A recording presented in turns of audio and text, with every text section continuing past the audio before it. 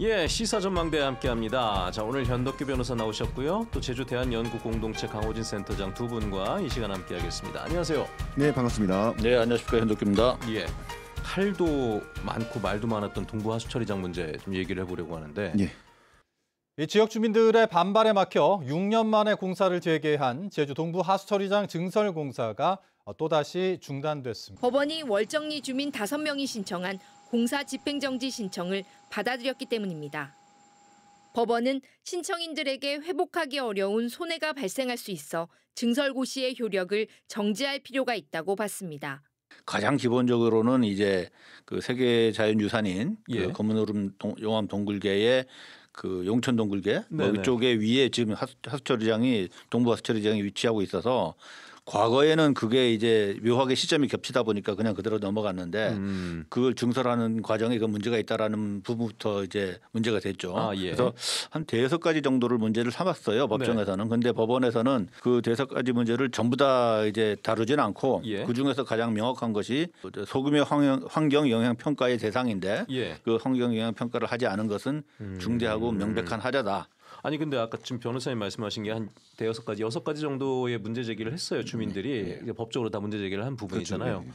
근데 지금 그 영향성 검토 그거 하나만으로도 이거는 이제 그 안 되기 때문에 법원에 제도를 건 건데 그럼 만약에 계속 이제 소송이 이어지면은 나, 나머지 다섯 개도 또 다뤄야 되는 문제입니까? 그러니까 만일에 도가 예. 그한한 가지 그 하자 법적인 하자를 중대 명백한 하자라고 했는데 예, 예. 그걸 사후적으로도 보완한다 하더라도 음. 나머지 다, 다섯 개 여섯 개의 쟁점은 여전히 살아 있는 것이고 예, 예. 그거를 극복, 극복해낼 수 있을 것인가는 여전히 지금 이제 다 살아 있는 거죠. 문제다. 살아 있는 문제죠. 아니 근데 저기 도에서는 일단 항소하겠다고 얘기한 거 아닙니까? 항소했죠 즉시. 예, 항소했고 예, 예.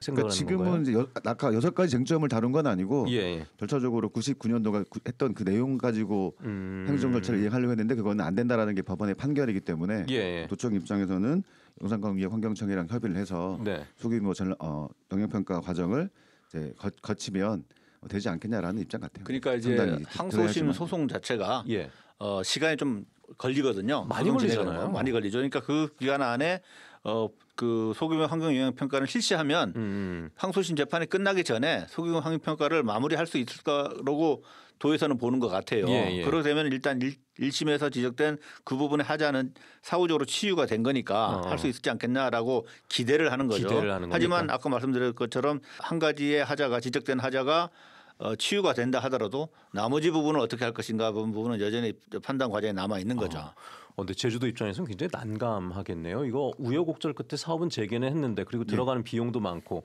거기다 지금 만약에 공사 중단까지 돼버리면은 들어가는 또 비용이 또 어마무시한 거 아닙니까? 이미 뭐 300억 이상 이제 국가 예산까지 땡겨와서 쓴거 쓴 거 아닙니까? 쓸 예정. 국가 예산까지 더 가져와 쓰는데 뭐 일부는 집행됐을 것 같은데 사실은 그 동안에 예. 이제 월정리 그 해녀분들이 많이 그 앞에서 공사를 저지하는 시위나 이런 걸 많이 하면서 음. 예. 어, 공사가 본격적으로 진행되지는 못했거든요. 며- 며칠 전에 우연히 지나가다 보니까 네. 그 없던 그 모래를 예, 바- 예. 그 하얀 모래를 주변에 이렇게 쌓아놓았더라고요. 다 공사하기 공- 예, 위해서 공사하기 위해서 한것 거. 예. 같은데 뭐 그런 정도 예산은 이제 이미 집행된 것 같은데 네네. 어, 현재로서는 더 이상 예산 집행을 못 하니까 좀 두고 봐야겠죠. 결론이 나올 때까지는. 그러면 지금 이렇게 해서 또 공사가 중단이 돼버리면은 어려운 여러 상황들을 좀 감안하면서 결국 합의를 해줬는데 또 마을 주민들 간에서도 이게 좀 갈등의 소지가 더 생기는 것은 아닌가 생각해 볼 수 있는 문제 뭐 아닐까요? 어쨌든 이게 약간 이제 체면을 서로 간에 예, 예. 그 이제 살리기 좀 어려운 입장이 됐을 것 같은데 아니, 그러니까 마을 안에서는 네. 거봐 내 말이 맞잖아. 그렇죠. 근데-. 그거 왜 합의를 해줬어라고 생각하시는 분들이 있을 예. 거고. 근데 결국은 이제 물론 우리가 뭐 법원이 이제 만능이라거나 어떤 예, 뭐 예. 전지전능한 건 아니지만 예. 그래도 현실의 세계에서는 법원의 판단을 기준으로 음. 어, 행동할 수밖에 없지 않겠습니까? 그래서. 그거를 놓고서 차분하게 마을에서도 어, 기다릴 얘기를 수 해봐야- 예, 해, 예. 해야 되지 않을까 생각합니다.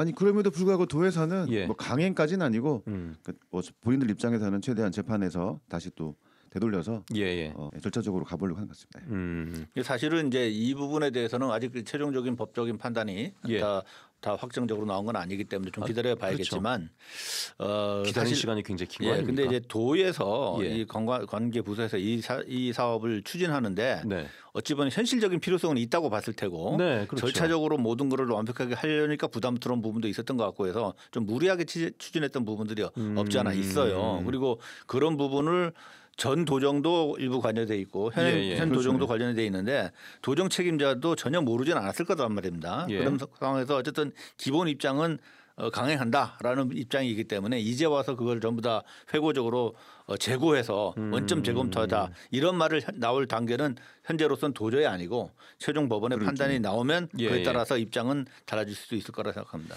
그 제주도 하수 처리 문제가 좀 심각하다는 얘기는 어제 오늘 얘기가 아니어서 이제 뭐 국적으로 좀 합의가 되면서 어느 정도 숨통이 트이나 했었는데 이것도 이렇게 해서 공사가 미뤄지게 되면은 제주도의 하수 정책에도 상당히 좀 차질이 예상될 수밖에 없는 그런 그렇죠. 상황인 것 같네요. 네. 음. 센터님 앞으로 항소 어떻게 될 것 같으세요? 법 음. 도청에서는 이제 절차적 하자를 치유하면 예, 예. 어쨌든 사업의 도청 주장은 공공성 있다 판단하는 거라서 예. 그런 부분들을 이제 재판부에 어떻게 설득하냐에 따라서 음, 음. 달라질 수밖에 없다고 보는데 일단 도청은 뭐 어, 제가 들은 얘기로는 뭐 큰 문제 없지 않겠냐라고 본인들은 없지 주장하고 않겠냐. 있습니다. 예, 예. 문제는 그보다 더 근본적인 문제가 있는 것이 이 지역이 아까 말씀드렸던 그 자연유산 세계 유네스코 자연유산인 예. 용천 동굴의 상부에 위치하고 있다. 음. 그래서 이제 그거를 외에도 불구하고 건설을 하기 위해서 문화재청과 협의하는 과정에서 예, 예. 정확하지 않은 정보들이 오고 가고 음. 그런 부분들을 또 이제 그 유네스코 측하고 협의하지 않고 하는 예. 이런 부분들이 많이 있거든요. 근데 네, 이제 네. 그 절차를 하자가 과연 이제 사후적으로 치유될 수 있겠느냐 예. 아니면 혹시 치유가 안 된다고 했을 때는 그거를 중대하고 명백한 하자로 볼 것인가 법원이 음. 말 것인가 하는 그런 이제 아주 그 판단의 문제도 있고 여러 가지 그 이제 앞으로의 그 관련된 주체들의 어떤 관여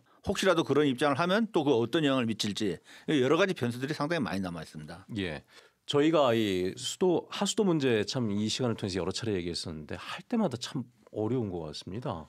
그래서 저의 주장은 네. 이 지역 아, 큰 사건이긴 한데 예. 제주특별법에 보면은 환경 총량제가 있습니다. 예. 그러니까 10년 단, 20년 단위로 해서 뭐 하수라든가 교통이라든가 음. 관광 특히 관광객 수까지 서로 사회적 합의를 보는 게 있거든요. 예, 예. 좀 활용해 가지고 좀 중장기적으로 음. 세우지 않으면 이제 계속 발생할 문제인 거죠. 제가 보기에. 그리고 또 이제 뭐 소규모로 또 그 정수 하수 하수 처리 시설을 만들겠다라는 또 그 안도 있는데 예.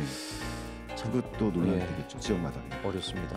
자 시사 전망대 시간 오늘은 동부 하수 처리장 증설 사업 관련 내용으로 자 현덕규 변호사 강호진 센터장 두 분과 함께했는데요. 두 분 고맙습니다. 네, 감사합니다. 네, 감사합니다.